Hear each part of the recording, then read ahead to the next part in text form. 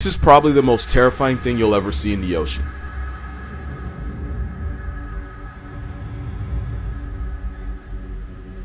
That thing is actually a big fin squid and is believed to grow up to 26 feet long. Scientists believe they hunt by dragging those freakish arms across the ocean floor, snatching up anything unlucky enough to accidentally brush up against it. But by far the scariest thing about this hell squid we know almost nothing about it. We don't know how they mate, how they live. All we know for sure is that you can find them at the very bottom of the ocean at depths of up to 15,000 feet, which is more than half the height of Mount Everest. Here's the part that personally freaks me out. Every big fin ever caught was a juvenile, and since no adults have ever been captured, it's possible they can be even bigger than we thought. This sea slender man's arms are covered in tiny suckers, meaning once it grabs something, there aren't a lot of things strong enough to break free. Those arms can be over 90% of their total body length, and they hold it at a 90 degree angle, which makes this violation against nature look like it's T-posing. As technology improves, we might have a chance to learn more about them. Which isn't a good thing, they need to stay in hell. Whale facts, but they slowly get more and more disturbing. Blue whales can produce 400 gallons of baby batter, but only 10% of it makes it to the female, meaning 360 gallons get dumped back out. In case you're wondering, that's 8.5 bathtubs of whale maker. Gray whales will go three player with two males and a female. While the first male is getting his rocks off, the second wing whale will swim underneath the female and help hold her in place for a process that can last up to an hour. And friendly reminder, almost every sea monster story ever told was really about a whale's penis, and I will never let y'all forget it. Sperm whales are so loud that their sound can vibrate you to death by either causing your lungs to collapse or an air bubble to form in your brain which would instantly take you off the senses. Blue whales are big, but not a lot of people understand how big. You can hear a blue whale's heartbeat from a little more than 2 miles away. They can swallow almost half a million calories at once. Allegedly, a whale's fart bubble can enclose a full-grown horse. And because I am who I am, I have to tell you that the largest blue whale penis was about 16 feet long and weighed anywhere from 700 to 900 pounds. Blue whales don't spray water out of their blowholes the way you see in movies. It's actually warm air being forced out of the lungs. It's basically its breath. It's one of the most unholy smells that can ever assault your nose. Like burning rubber in a fish cemetery. Because of that video, there's now people that believe the ocean is salty because of whale sperm. And I'm not gonna lie, I wish it were true because the look on people's faces when I tell them this is free therapy, but it isn't.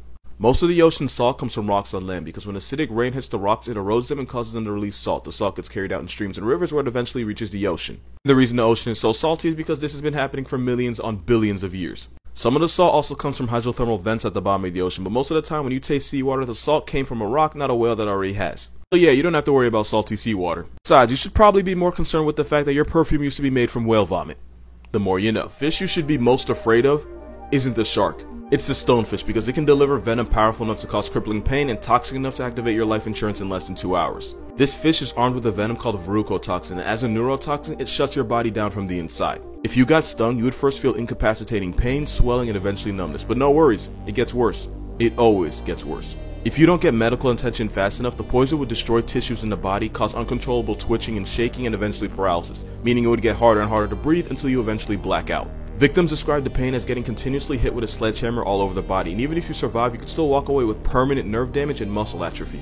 But there's two big reasons why this Satan guppy might be the most dangerous fish on earth. One is this picture. Because the stonefish looks like a stone, it's so easy to accidentally step on one, and when you do, those spines would get shoved up your foot, and the harder you step, the more poison gets pumped into you. And number two, they can survive outside of water for up to 24 hours, meaning they don't have to be underwater to put you underground. Because Australia is the only place where mistaking a fish for a stone can get you the death penalty. You should never pick this shell up because it's actually one of the most venomous things on the planet.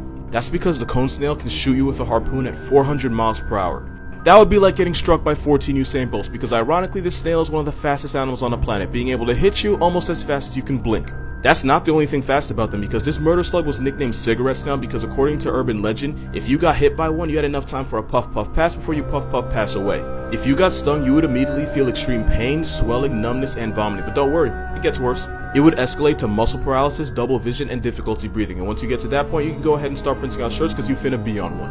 And even though the cigarette thing was an exaggeration, it could take only 5 to 8 hours for them to connect you to God's Wi-Fi. Now the problem with these snails is that they use venom to paralyze unlucky prey and they'll even put them to sleep with a toxin that's a thousand times more powerful than morphine, which works on fish and stupid people that pick them up. But they don't just use one though, like Tyson, they be on them combos. They can have 50 different toxins in their venom, which is why there is no antidote. The only cure is to try not to die and become a Snapchat memory. Oh, your child can visit steamy jungles, grassy plains, and the dark depths of the ocean. I should probably explain what the hell this is. That was an angel shark, and that's the worst Call of Duty player you'll ever meet. The angel shark will lie motionless for days waiting for anything bite-sized to accidentally pass above its head so it can take its life. Sounds like a cheat code, but there's no referee in the ocean, so this camel shark stab pads kills like no other.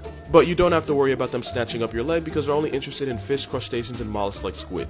That being said, angel sharks are a lot like electrical power sockets. They're only dangerous if you're stupid enough to poke them. Now you would think that's common sense, but because these sharks stay perfectly still, scuba divers think it's a good idea to touch them and that makes these sharks go from mannequin challenge to homicide.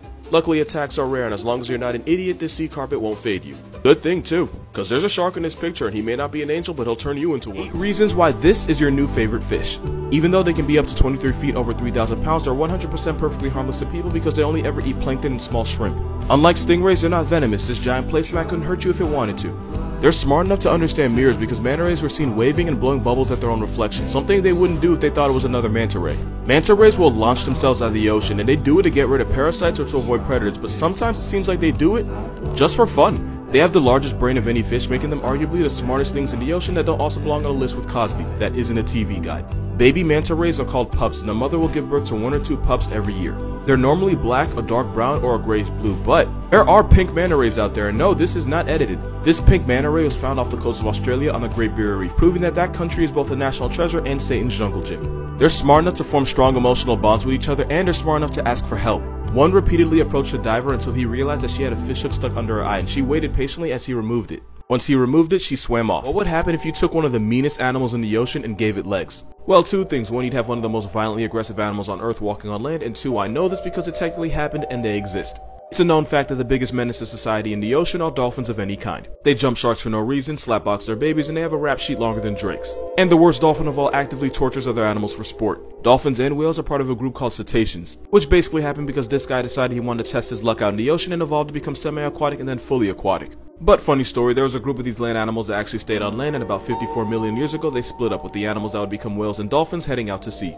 The ones that didn't follow them out into the ocean stayed on land, and after millions of years of plot development, they went on to become one of the most vicious animals in the world. In case I haven't made it obvious, I'm talking about hippos. The African homicide horse is actually the closest living relative of whales and dolphins. One's a bipolar tank with Roy Ridge and a devil's overbite, and the other's a pufferfish abusing shark assaulting sea quagmire, and that is evolution. You remember that dolphin sound effect from SpongeBob that was supposed to be like a censor? You know what the I'm talking about. Well, that sound didn't actually come from a dolphin. It was actually the sped up laughter of the kookaburra. It's a kingfisher bird found in Australia that sounds like a guy trying way too hard to laugh at a cute girl's jokes.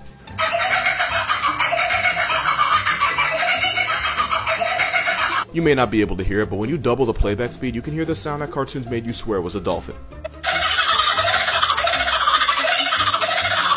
Moral of this video, every dolphin sound effect you've ever heard on every TV show is really just an Australian crack Tweety.